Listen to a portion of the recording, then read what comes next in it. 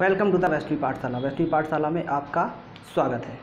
तो आज हम आपके सामने लेकर के आए हैं, यूनिट का कन्वर्ज़न कैसे करते हैं?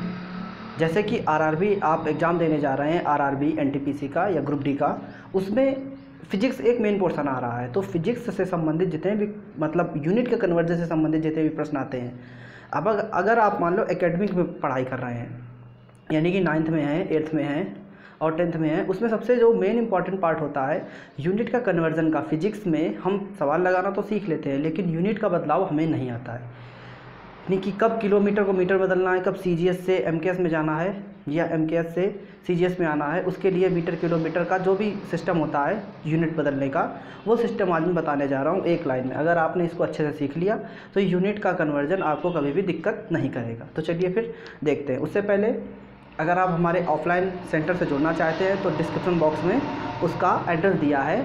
आप किसी भी तरीके से आ सकते हैं, या फिर हमें कॉल करके, या फिर मैसेज करके। तो चलिए देखते हैं। यहाँ पर एक लाइन लिखी हुई है, kilogram, hectogram, decagram, decigram, centigram, milligram. अगर आपको दिख नहीं रहा है, यानी कि छोटा छोटा अगर आ रहा है तो मेरी आवाज़ को सुनिए और उसे समझने की कोशिश कीजिए। Kilogram, hectogram, decagram decigram, centigram, milligram. अब यहाँ पर देखिए, ग्राम है। सब में ग्राम ग्राम आ रहा है।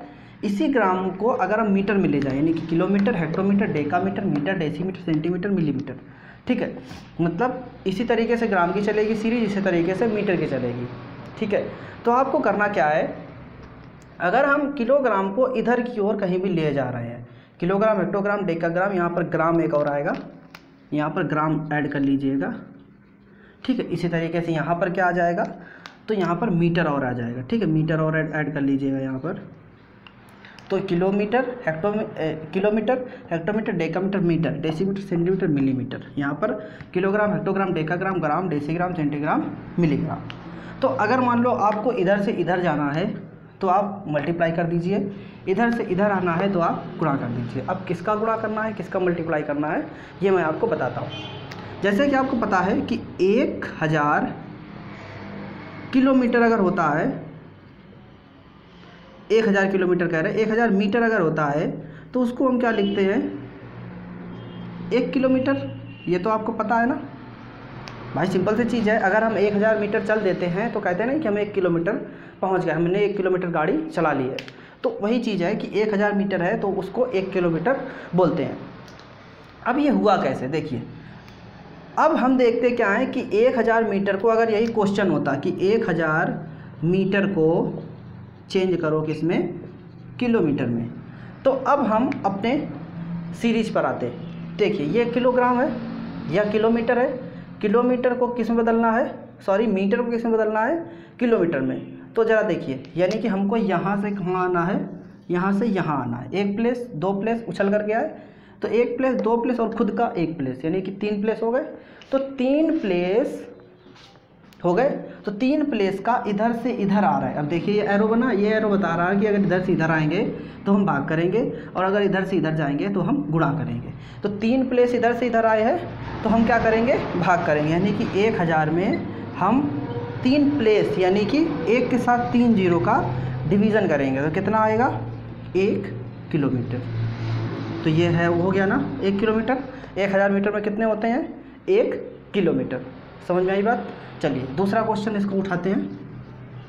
दूसरा क्वेश्चन मान लो कि आपको दे दिया गया आ, बीस डेसी मीटर। और इसको चेंज करना है किसमें मीटर में। तो देखिए बीस डेसीमीटर है। डेसीमीटर को कहाँ ले जाना है? मीटर में। मतलब क्या है? एक ही प्लेस है। एक प्लेस का मतलब कितना है? इसमें दस का डिवीज़न हो जाएगा। तो कितना आ जाएगा? दो मीटर। समझ में आ गई बात? ठीक है ना? चलिए नेक्स्ट देखते हैं।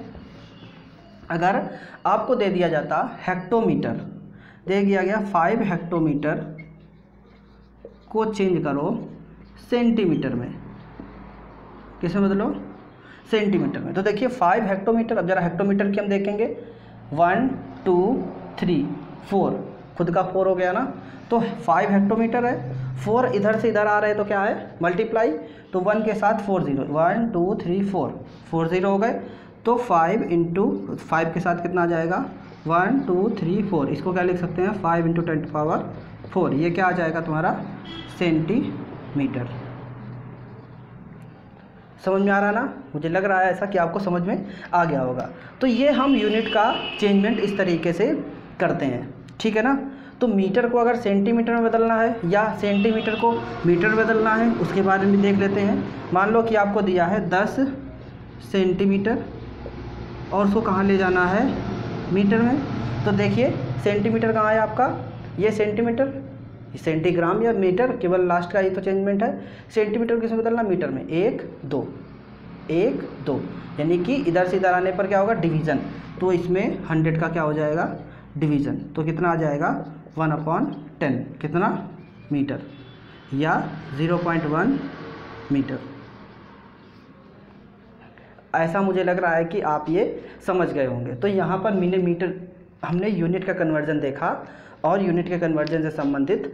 अब इससे सवाल जैसे जो भी आएँगे, हम उसको चेंज चेंज कर सकते हैं। आपको रटना नहीं है कि एक किलोमीटर में ये होता है, एक सेंटीमीटर में ये होता है, वो होता है, क्योंकि वो आपको याद ही नहीं होना है। तो आप छोटी सी ये लाइन याद रखिए और केवल ये याद रखिए कि किधर से किधर जाने पर हम डिवीज़न करेंगे और किधर से किधर जाने पर मल्टीप्लाई करेंगे।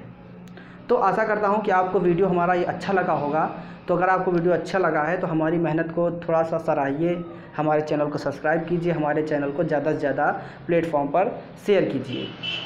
और मैं आपके सामने अब साइंस की क्लास लाने जा रहा हूँ, क्योंकि आरआरबी का जो एग्ज़ाम होने जा रहा है, वो एनटीपीसी का हो या ग्रुप डी का हो, उसमें साइंस एक बिग पोर्सन बन के आ रहा है।